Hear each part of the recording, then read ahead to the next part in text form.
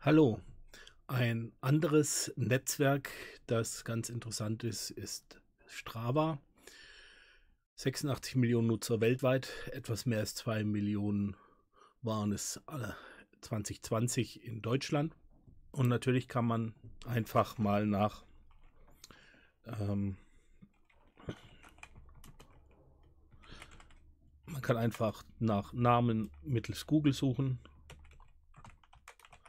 mit dem Site-Parameter ist auf eine Seite einschränken und schon findet man unheimlich viele Strava-Profile. Das ist natürlich eine relativ einfache Möglichkeit, Nutzer auf Strava zu finden. Und weil ich halt nicht irgendjemanden fragen wollte, war ich mal so frei und habe den lieben Reinhard Remford von Methodisch Inkorrekt angefragt, ob ich sein äh, Strava-Profil benutzen darf. Und netterweise hat er ja gesagt. Ähm, hat mich auch sehr gefreut und deswegen schauen wir uns jetzt mal an, was Strava so kann. Zum einen gibt es hier den Bereich Entdecken.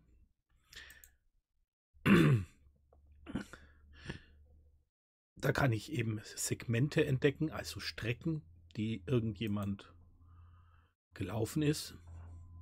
Und jeder, der diese Strecke läuft, taucht dann hier auch in diesen besten Listen auf. Oder in den Listen auf.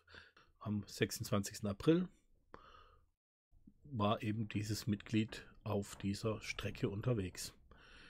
Ich kann auch eigene solche Strecken anlegen. Äh, da brauche ich aber, also außer ich bin blind, die Mitgliedschaft und die Probemitgliedschaft, die ist zwar kostenlos, aber das habe ich jetzt äh, erstmal nicht gemacht. Aber man kann auf jeden Fall in dem Dienst Segmente anlegen und dann eben werden alle Leute, die auf dieser Strecke gelaufen sind äh, oder Rad gefahren sind, werden da einem angezeigt. Eine andere Möglichkeit ist, dass ich nach Sportlern suche. Reinhard Remford. Und da ist er schon. Und ja, was habe ich? Ich habe zum Beispiel Fotos. Fotos werden oft auf unterschiedlichen Plattformen in die sozialen Netzwerke eingestellt.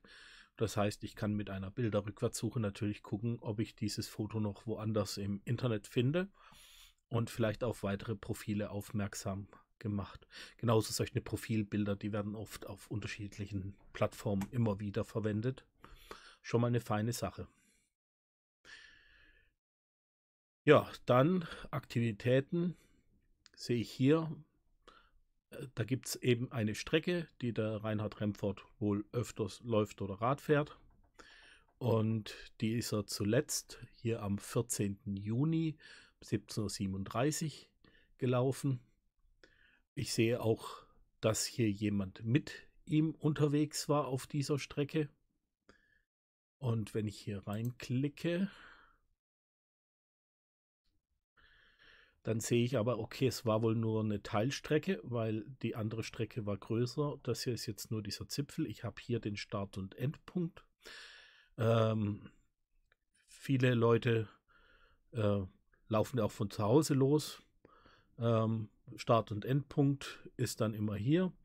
Man kann dann bei Strava wohl einstellen, dass man diesen Bereich dann um sein Wohnhaus verschwimmen lässt. Und das haben die so gut gemacht, dass das Wohnhaus halt in der Mitte des verschwommenen Bereichs ist. Also hätte man auch gleich sein lassen können. Aber hier habe ich eben nochmal detailliertere Angaben. Witzigerweise fehlt hier jetzt das, die Angabe der Uhrzeit. Warum? Keine Ahnung. Ich gehe nochmal zurück.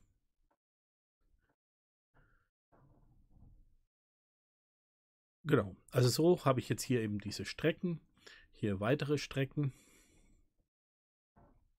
wo er eben unterwegs war. Ja. Und was es natürlich auch noch gibt, sind Clubs. Da ist er offensichtlich in drei Clubs drin. Ähm, da er jetzt eine bekannte Persönlichkeit ist, äh, ist zu vermuten, dass diese Clubs nicht nur Leute beinhalten, die ihn persönlich kennen, sondern vielleicht auch eher Fans von ihm sind.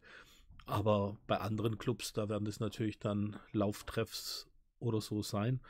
Und ja, da ich nicht in diesem Club bin, weiß ich jetzt nicht, wie gut sich die Leute da wirklich untereinander kennen. Äh, aber kann schon sein, dass da eben dann auch Freundschaften entstehen über sowas. Genau. Also das ist einfach hier über die Segmente und die Sportlersuche kann man hier doch sehr viel Information gewinnen, was natürlich für unsere Zwecke der Aufklärung äh, eine feine Sache sind. Genau. Hier wäre meine Segmente, da ist eben keins. Was vielleicht auch sein könnte, ich habe kein Handy, äh, dass man mit, mit der Handy-App noch ein paar Sachen mehr machen kann. Das könnt ihr ja dann schauen, ob ihr mit der Handy-App dann vielleicht doch eigene Segmente erstellen könnt. Ähm, ich habe jetzt hier keine Möglichkeit gefunden, ohne dass mir gesagt wird, Probemitgliedschaft beginnen. Das war's für heute schon wieder. Macht's gut. Ciao, ciao.